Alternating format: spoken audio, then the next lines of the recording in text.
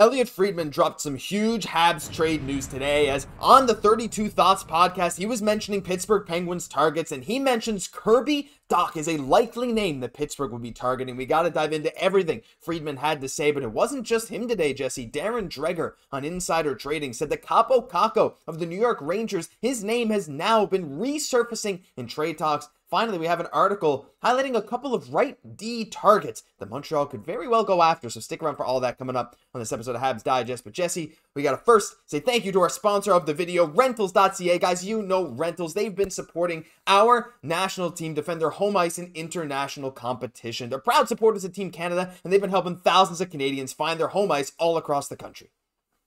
Whether you're living in Edmonton, whether it's Toronto, Vancouver, Montreal, rentals.ca has you covered with their website that's just really great, really easy to use. Go and check them out because they have the best listings in your area. Their maps are super intuitive where you can find amazing listings of your choice right there. It's amazing. Rentals.ca have been a proud supporter of us, a proud supporter of Team Canada. And if you are looking to move, find your new home ice, check out Rentals.ca in the description down below or the pinned comment. We really like their product and we hope you guys do too. Jesse, time to get into the video. And the first thing I want to do, as always, all these articles will be linked down below, is bring up one article talking about some some trade talks. This is from Last Word on Sports, I believe.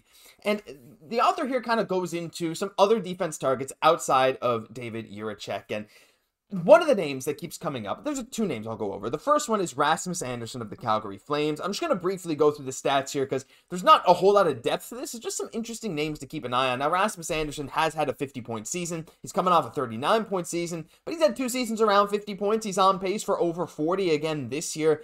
Jesse, he's Calgary's arguably number one defenseman. He's definitely on that top pairing. Calgary's been better than expected. I don't see them trading for him, but how good of a fit would he be in Montreal? He would be absolutely amazing. You have to feel like the Calgary Flames, they want to hold on to this player because he's helping them a lot this season. But in ideal world, I just find like, you know, of a right shot kind of guy, has some decent size to him. I find he just would pair really nicely with a lot of our younger guys who are very more offensively minded, even though he's got a little bit more of that in his game, just bringing a little bit of that physicality as well. At only 20 years old, it's kind of that sweet spot where like you're not too old, but he's bringing that vet experience to this team. Like, you know, drafting is great, but I think sometimes you got to go for those players that that really fit. Like you got to make those trades as well to kind of complement that young core. We'll see if Calgary would ever be willing to move him. And I think if they were willing, I think Kent Hughes would be on it. But the big thing with him is uh, he's on a decent contract, four and a half million for this year and next year. Honestly, a great deal, which is just another reason why I don't think Calgary will be moving off of him. But I know a lot of you guys like him. I know we like him. So hey, if there's any possibility, I think this would be cool. And the other name that they mentioned in this article, that again, Go link down below. I forget the author's name at the moment, but please go leave them the love that they deserve for this article. Uh, Alex Carrier of the Nashville Predators, Quebec native. Uh, actually, at my work played against this guy in junior. Said he was a phenomenal player. He's 28 years old, and he could likely be traded at the deadlines. The Predators have had a horrendous start to the season. Now, Carrier's not a guy that's going to go out and get you a ton of points, but in 21-22, Jesse, he had 30 points in 77 games, which is not bad for a defenseman. 5'11", also 28 years old, plays a solid game. He he seems to be in control a lot of the time, and maybe some Predators fans can shed some more light on him. I think it's an interesting name, just one of those solid right-hand shot guys, though he is 5'11", maybe not that big presence we want. It's it's an interesting veteran name that you could consider adding, I suppose. Definitely. I think the only holdback there is maybe like the 174 pounds. Just I think we want to add a little bit more size just because of, you know, Hudson and just kind of pairing well with those uh, type of smaller type guys that we have there. But you know, an interesting name all the same. Maybe not at the top of the list, but you know that Kent Hughes is is doing his homework right now. Absolutely. There's lots of names out there, and uh, you know we'll mention a couple of these guys with no substantiated rumors. But one guy that has been in Habs trade talks for a while and whose name resurfaced today is Kaapo Kakko. And I'm going to get into what Darren Dreger said on Insider Trading. The link is down below. He said, I'm told that Kaapo Kakko's name has resurfaced. And we all heard these Rangers trade rumors come out over the past week with Kreider and Trouba likely going. But it's not just them, it's Kakko too. Now, it's not like the Rangers are willing to give this guy away, but ice time is a bit of an issue. Kakko probably wants a fresh start, but again, if they're trading out pieces like that, then the return is going to have to be exactly what the New York Rangers are looking for. Now, that's fair, but at this point, Jesse, what even is the return that the Rangers would be looking for? Kakko has had a bit of a resurgence this year with 12 points in just 21 games. He's on pace to absolutely destroy last year's point total as he's on pace for what, about 50 points ish right now, just under 50 points. He got three goals, nine assists. He's only shooting 8.6%, and we know he has a bomb of a shot, so that could very well go up. A solid Corsi 4 and a solid expected plus minus, but he's only getting 13 minutes a game. I know we've talked about him a lot in the past, Jesse, but if his name is available, look, we, we've kind of we've kind of mentioned this. Are we, are we done with these reclamation projects? He's starting to show some some real talent here. He's still only 23. Like I don't even really consider this necessarily a reclamation project. This might just have to be like a, a trade for a decent player if the price is right. Yeah, and you have to feel with a little bit more ice time that he could do a little bit better. But for me, I, I think, you know, that Kent Hughes is looking for those premium type players sure. and also go a little bit of a lower risk because there are sometimes, you know, we've been taking some reclamation, but we sometimes like to think like there's no risk involved, like like a Kirby Dach. But it, it really is if you're looking to kind of project to have a player at a certain spot and that's not really lining up that really kind of tardies everything up as you're looking to really kind of eventually find the player for that position.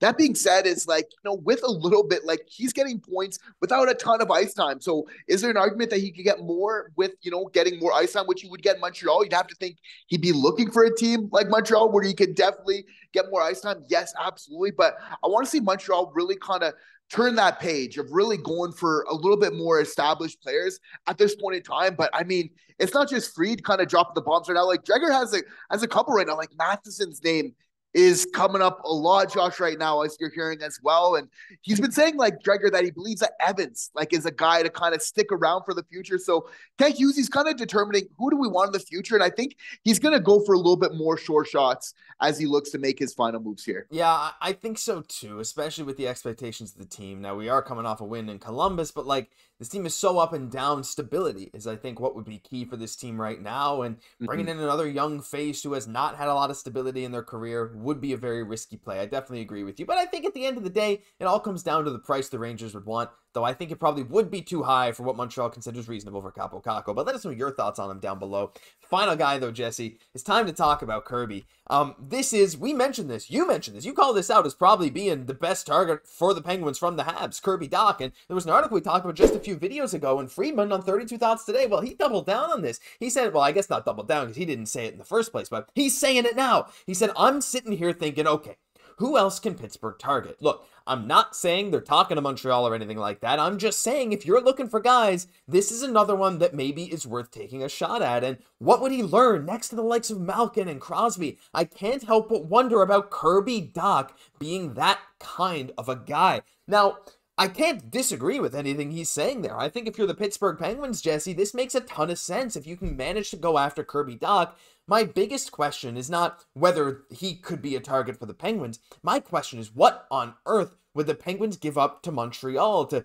to trade for a guy like Dach? And there's been a name we've mentioned in the past, Marcus Pettersson, who's playing second pairing with uh, Erik Karlsson right now. He's a six foot four left hand shot defenseman, reasonable contract. He's just a very solid big player that I think could fit well on Montreal's decor. But like in terms mm-hmm. of young players, I mean, you look up front, yeah, there's like Crosby and Malkin, but like in terms of young guys, they got like McGroarty. They just traded for Tomasino, so he's not going to go out. That's my biggest issue here, Jesse. Not not whether Dach could be a fit, but who Pittsburgh could even send back. Are you trading Dach for McGroarty? Mm, no. I well, not oh, yet. Geez, eh? That's tough. I don't think so. No, I don't think like not yet. Like Kent Hughes is going to give him a little bit more time to kind of figure it out. Like, and Kirby Dach doesn't have an unlimited amount of time to kind of figure it out with the Montreal Canadiens but until the end of this year. And I believe that they're going to want to see that improvement. But if there's not a whole lot of improvement from now to the end of the season, like there it's definitely the pressure is going to be on Dach. Like they want to see that growth. There's not just like an unlimited amount of time for him to figure out his game. Is they're going to give him a little bit more, but the clock is starting to tick because the two C it's it's not like a bottom six position. Like you need to figure that because so much else on your team is really going to kind of be predicated, needs to be built off that there kind of going forward. So obviously, like McGroarty's really like the only player that's really jumping out to me like on the pens that I'm super interested, other than obviously like a Crosby a Malkin type things like there. But it does make sense. Like if the Penguins are looking to kind of you know retool kind of on the fly that that is a player and it's interesting that they they see the potential in him as well like other teams in the nhl haven't given up on kirby Dach. they feel like maybe this isn't a bad guy to kind of bring in you get a little bit younger but that can really help because he has all the tools for me the reason you're not giving up on kirby Dach, it's the mental game right now like he has all the tools. And he's even shown it a little bit with the Montreal Canadiens that he he really has it. It's not like he can't play hockey. It's just about really getting that confidence. I'm not sure what else kind of needs to happen, but it's it's not his ability to play hockey. It's something kind of between the years right now. You have to feel like Martin St. Louis was able to get help Juraj Slafkovsky with this. He did have a tremendous end of the season. Slav will continue to shine, continue to get better. And now it's up for Martin St. Louis. I would say like his next biggest project right now is to get Dach up and flying again. I mean, I think so too, but also like you know, I, I, the clock definitely is taking. Especially, I think he has one more year after this year on his contract. I could be wrong, and he'll still be an RFA after that. But like, you know, he's also coming off a knee surgery and missing a whole season, right? So, uh, you know, those kind of recovery periods, it takes time sometimes to be confident in your own knee. And we're starting to see him gain a bit more confidence game after game, pulling off some nicer dangles, picking up a bit of speed. Like, I don't think we're really going to have a good idea of what Dach is this year until we're talking probably January, February. So I do think trading him right now is far too premature because you'd be trading him at his lowest. And I just don't think that's a good idea in general when we're talking about trades. But you're very right at the same time, Jesse, is like eventually excuses will run out. It's not this an excuse. It's like a legitimate reason why he's not playing well. Major knee surgery as a professional athlete, coming off that, mm-hmm. you know, doing all your rehab, whatever. But like, we're gonna have to wait and see. And at some point that time will come. I just don't think it's at least this early in the season. But what do you guys think? Let us know your thoughts down below on Friedman linking Kirby Dach to the Pittsburgh Penguins. I think there's some very interesting stuff there. But that'll do it for this episode of Habs Digest. If you enjoyed, leave a like, comment, subscribe to the channel, and please check out our sponsor, Rentals.ca, if you want to find your new home ice. I'm Josh Gosse, my co-host Jesse Poirier. We'll catch you in the next one.